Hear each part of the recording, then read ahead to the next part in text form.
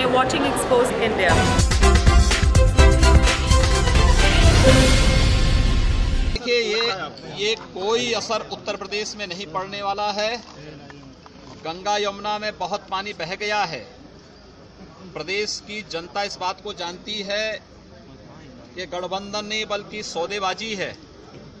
और राजनीतिक इस प्रकार के सोसेबाजी के लिए अब उत्तर प्रदेश में कोई जगह नहीं, जो केवल अपने राजनीतिक स्वार्थों के लिए इस प्रकार के सौदेबाजी के जो सोसे चल रहे हैं, सपा, बसपा या कांग्रेस में, ये अब नहीं चलने वाला है उत्तर प्रदेश में।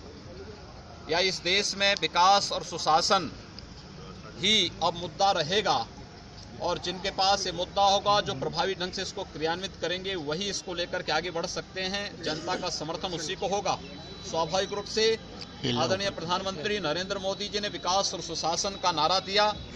आज उसके अनुरूप अपनी नीतियों को पूरे देश के अंदर प्रभावी ढंग से लागू कर रहे हैं।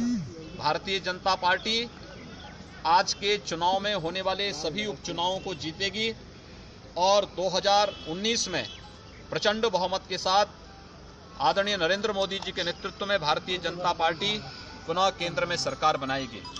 परंपरा को आगे बढ़ाने का संकल्प है हमारा, क्योंकि आपकी उम्मीद पर टिका है परिवार हमारा। अमर भारतीय एक उम्मीद, जज्बा बुलंद हौसलों का, जज्बा भारत के निर्माण का।